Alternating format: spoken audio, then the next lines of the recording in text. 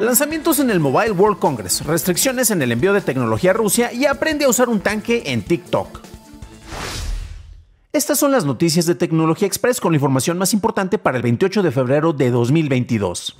El Departamento de Comercio de los Estados Unidos implementó una legislación contra Rusia en donde prohíbe los envíos de distintos productos tecnológicos, así como otros fabricados con infraestructura estadounidense, de manera similar a las sanciones vigentes en contra de Huawei.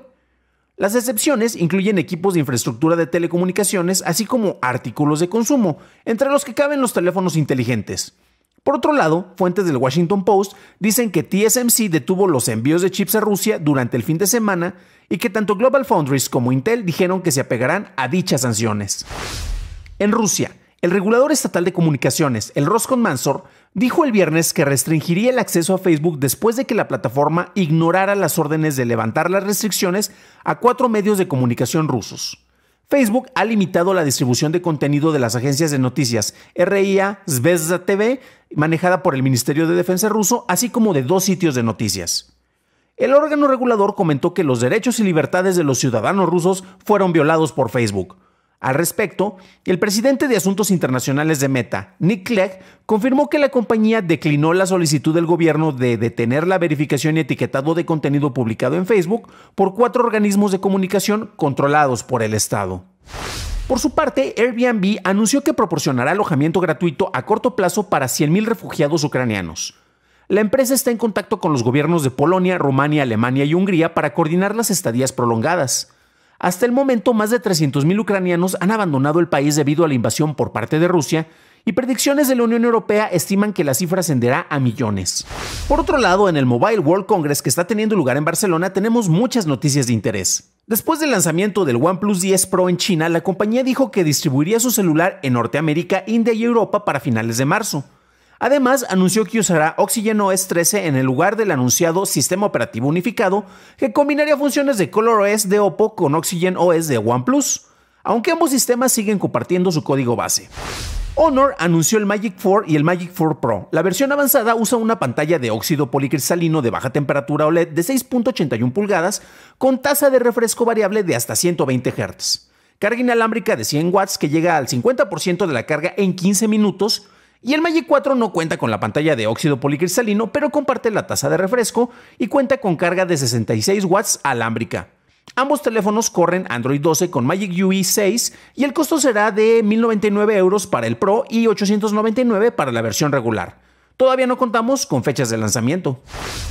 Huawei anunció el MatePad Paper, una tableta de tinta electrónica con Harmony OS en una pantalla de 10.3 pulgadas. Es compatible con la M Pencil de Huawei para tomar notas y su tiempo de respuesta es de solo 26 milisegundos. No hay fecha oficial de lanzamiento, pero sí tenemos el precio en esta ocasión, el cual es de 499 euros. En la línea económica, Nokia presentó el C21 y el C21 Plus.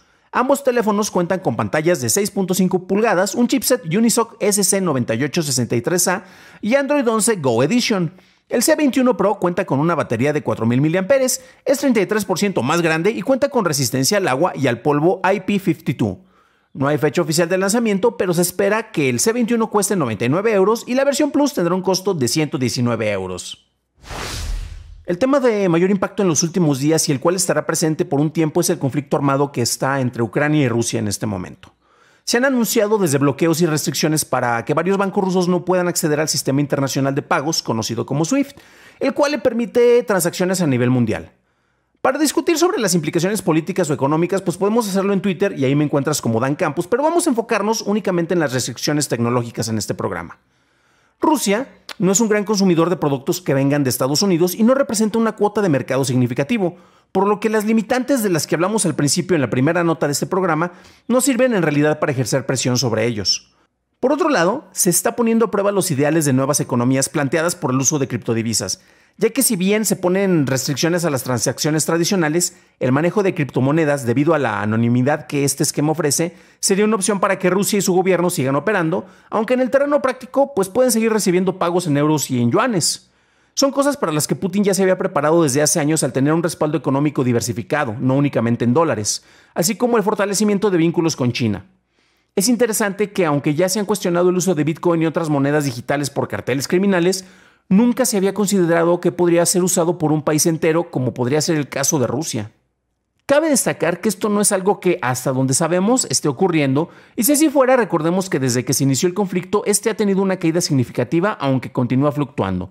De hecho, aquí estamos viendo las fluctuaciones del Bitcoin. Desde luego ha tenido una recuperación, eh, llegó a tener un punto máximo en noviembre y pues ha tenido estas fluctuaciones. Está llegando casi a los niveles que tuvo eh, en julio, entre mayo y julio del año pasado, pero efectivamente ha tenido un cambio y el conflicto armado ha afectado mucho el costo que ha tenido esta criptodivisa.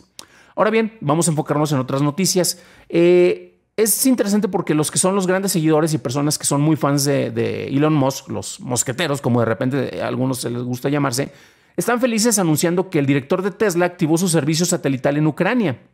Y con esto está mandando terminales al país, aunque no se habla de los costos o de la disponibilidad que va a tener este servicio por allá. Pero hey, mira, Elon Musk está haciendo eh, su actividad humanitaria, está haciendo algo por el resto, por otros países, no únicamente busca dinero. Airbnb, por su parte, entra de una manera mucho más concreta y atiende necesidades directas al ofrecer el hospedaje, mientras que Facebook restringe canales oficiales del gobierno ruso y Google pausa la monetización en YouTube para estos mismos canales. Híjole, mano. Ahí si analizamos las medidas que tiene Airbnb son las más pertinentes de todas, mientras que pues limitar los canales del gobierno, quitarles los ingresos por parte de publicidad, que es lo que está haciendo YouTube o Facebook, pues es una cuestión que puede ser cuestionada o que no les afecta o que incluso puede ser catalogada como una violación a la libertad de expresión y pues ahí puedes acusar cómodamente de hipocresía a las plataformas estadounidenses. Sabemos que en Estados Unidos se habla mucho de libertad de expresión, pero también eh, reportamos la semana pasada que lanzamientos como de la red social Truth Social, la red, la red social de Trump, que es un clon de Twitter, pero para que ahí hable sus nichos de, gente, pues en realidad la libertad, la libertad de expresión no funciona de la manera como muchos creen que debería de funcionar. Y los canales oficiales de un gobierno, como está pasando en Rusia, y puede pasar en cualquier lugar, también aquí en México y en, otros países, pues eh, siempre que comparten información lo hacen pues más como propaganda que como para tratar de informar al pueblo. Finalmente, bueno, una cosa que sí quería compartir y esto lo vi eh, hace rato y que van a poder encontrar por acá, eh, pues es interesante ver cómo hay distintas plataformas como TikTok y esto es precisamente lo que traemos en, las notas al principio, que se están utilizando y aquí vemos a una usuaria que está compartiendo los tips de cómo literalmente eh, retomar equipo que ha sido utilizado por el ejército ruso, que ha sido abandonado después de los ataques y cómo poder utilizarlo. Si eres un ucraniano que está por allá, casi casi te están dando los tutoriales de cómo activar un tanque o un vehículo militar para que lo puedas utilizar. Y esto está pasando en TikTok. O sea, es interesante porque ya estás teniendo una red que pues no es únicamente para bailecitos o para ver cosplayeras o para ver videos con animales, sino que aquí es algo que podría ser eh, información vital para los usuarios que están allá y que están en medio de un conflicto bélico. Este fue el último episodio en el formato de entregas diarias para NTX, tanto en audio como en video. Si te gustó este formato, pues comparte este programa con aquellos que crees que les podría gustar. Si aumentamos el número de suscriptores y de escuchas, pues podríamos continuar con este mismo formato. Si encontraste útil este episodio, puedes decírmelo dejando una calificación en Spotify, Apple Podcast o dejando un like en este video o en YouTube. Recuerda que puedes encontrar más información en inglés eh, si llegas a la página de dailytechnewshow.com en donde encontrarás notas y ligas a las noticias. Gracias por tu atención y estaremos escuchándonos en el próximo programa.